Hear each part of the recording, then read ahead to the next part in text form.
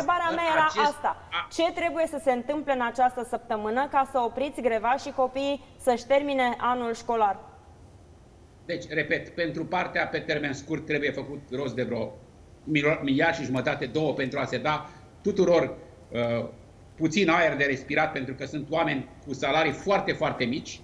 Uh, iar pentru partea care privește viitoarea lege a salarizării, pe aceasta având un rol astăzi nefiind aplicată, de necrezut, nefiind finalizată pentru noi, Așa, uh, uh, trebuie să o croim împreună așa cum trebuie. Ea este făcută în ceea ce privește partea de învățământ uh, preuniversitar și superior, dar ni se spune că trebuie să mai așteptăm o lună, două, până când Banca Mondială va da sau nu bun de tipar. Păi ce facem, doamnă? Nu, nu facem ca la sănătate cere tot cer eu de vreo săptămână, două, dacă nu mai de multă vreme, decizie politică, altfel nu vine nimeni. Vrem cele mai atractive salarii la început de drum, ca să vină în- la noi, în, în, în învățământ, liderii de promoție, șefii de promoție, cei mai buni. Altfel, rămânem cu cei 800 de pseudo-profesori care au doar liceu la bază în mediul rural. Au un bacalaureat amărât și ăla luat. Deci rețineți că pentru asta trebuie bani mulți la anul și așa cum spun ei, vor să susțină prin, prin programul de guvernare, dar n-am găsit acel liant de încredere. Bine ziceți, e- ne lipsește. Uh, Am luat atâtea plase, s-au dat atâtea legi uh, și, și, Și nu cum își reușim, pot trebuie trebuie proba un document, credibilitatea? doamnă. Domnule profesor, dați-ne ceva concret. Cum își pot proba document. credibilitatea? un document scris. Un document scris vis-a-vis de poziția noastră în viitoarea lege a salarizării. Dacă s-ar fi păstrat în legile educației uh, expresia aceea, salariul debutantului este salariul mediu grupă economie, azi nu eram unde suntem acum. Joi ieșiți Deci în s-a stradă, spus domnule altceva. profesor? Poftiți? Joi ieșiți în stradă?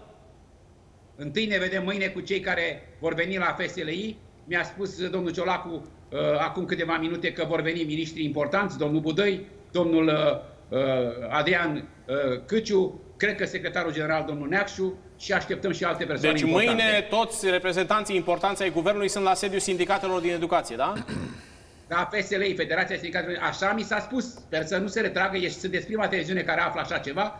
Acum două minute am închis telefonul înainte să vorbesc cu dumneavoastră. Trebuie să ne batem capul și să încheiem greva. Clar, sunt de acord. Asta Dar vrem și nu noi cu să, orice preț, să se pentru- încheie greva pentru asta că altfel- în beneficiul dumneavoastră, dar dați-le o speranță și copiilor. Gă- Gândiți-vă, trebuie să-și încheie mediile pe final de an. Unii dintre ei se pregătesc de examene.